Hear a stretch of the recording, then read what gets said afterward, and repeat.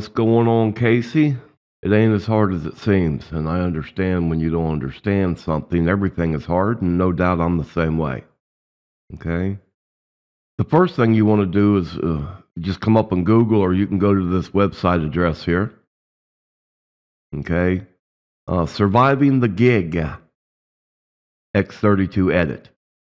If you Google that, it's going to bring you right to this page. This is absolutely one of the best articles I've ever seen that deal with the X32 edit program, and it will go in depth to the, you know, 10th degree. And it's going to explain what everything does on this program. And don't get overwhelmed by it, okay? There's a lot of information here. But all we're concerned with is panning to our mix buses okay, that's going to go to our in-ear monitors. All right, but this is where you need to start. You need to come up here and read this article. You know, give it a day, read it again. You know, read it until you can come up here and understand what all this means up here.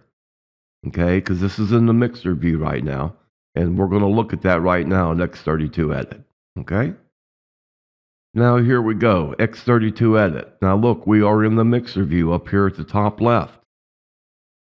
And all this information, okay, this is showing us, of course, that is the EQ right there.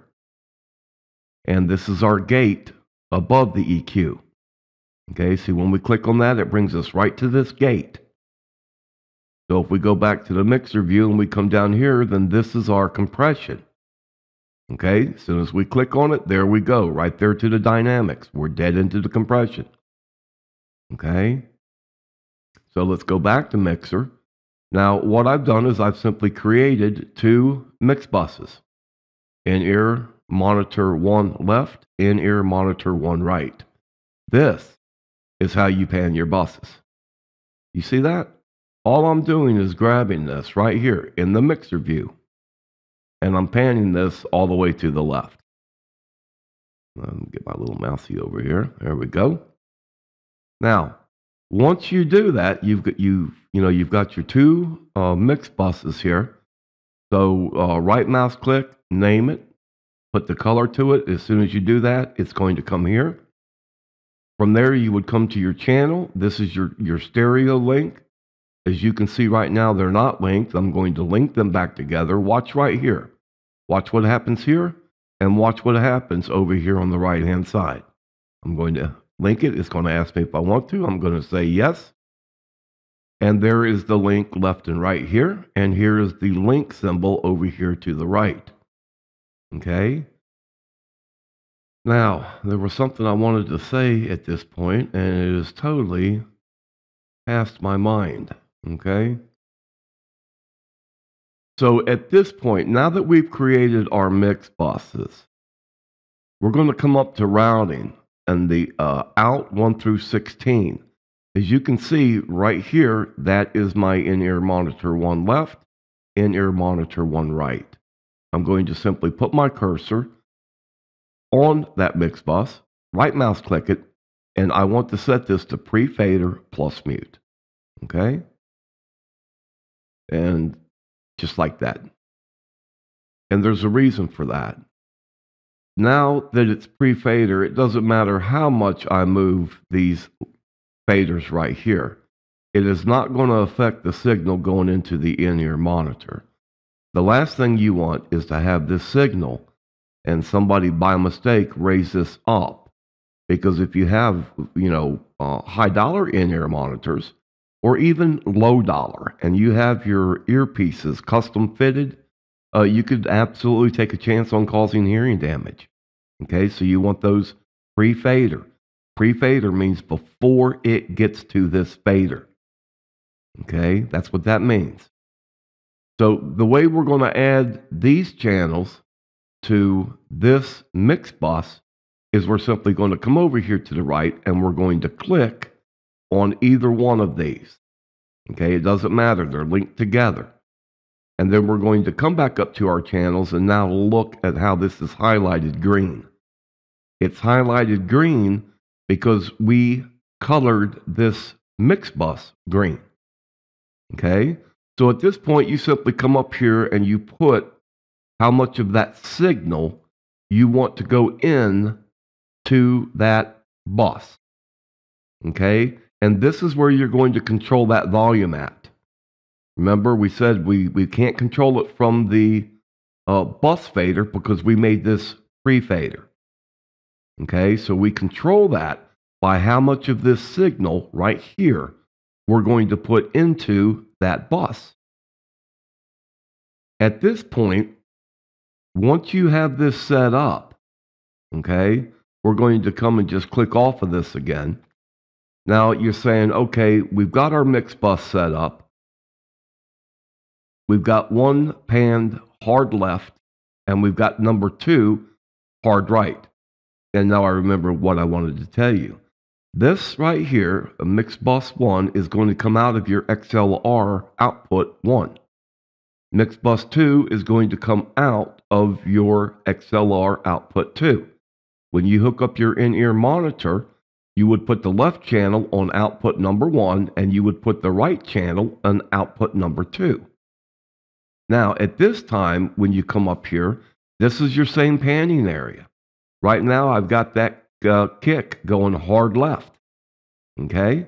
So it's only going to come through this channel into this mix bus into the left side of the mix bus. In other words, mix bus one. Anything that is panned to the right, okay, here, the snare, the floor tom, the tom two, anything panned to the right will only go into mix bus number two because we have that mix bus panned hard right. Okay?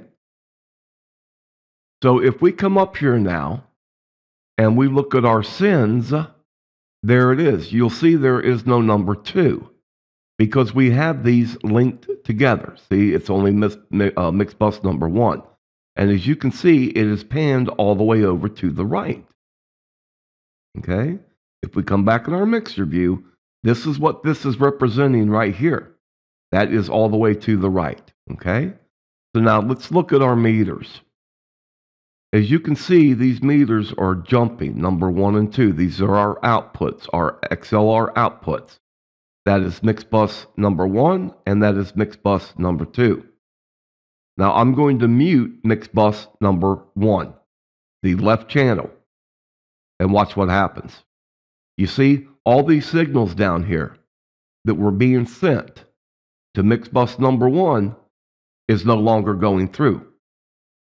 So if I unmute those and then mute mix bus number two, as you can see, the signal's coming in, which would be the left side, but there's nothing coming in on the right side. Okay? Now I'm going to take the uh, bass and I'm simply going to pan it back to zero. Okay, now it's going to come into your left and your right channel, the same signal strength. So if we look at our meters now, now if I mute one and I mute two, it'll still not come through but I have not separated it on either channel. In other words, I have not panned it hard left, I have not panned it hard right. And that's the thing with this. How much of that kick drum, because this is also going to affect up here to your mains. Okay, as you can see, we've got it coming through the, the main stereo. It would be coming through the main hard left.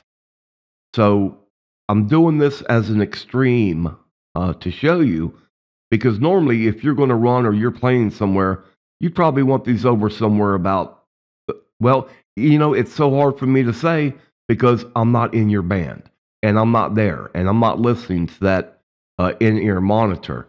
But uh, very seldom do you just pan everything 100% hard left and right. This is something that you're going to have to play with. Okay? I hope this explained it to you. It's, it's, there is your panning controls. Okay, all the way through here. You can do any channel you want to like that, and your mix buses are no different whatsoever. Okay, channel, where we go, mixer.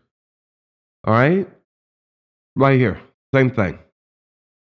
So once you learn one thing. You will learn this on every single channel. Once you learn one channel strip, it's the same for every other channel strip. Okay? Read that article, go up there to surviving the gig, and it's going to help out tremendously. All right? Take care, God bless, and we are out of here.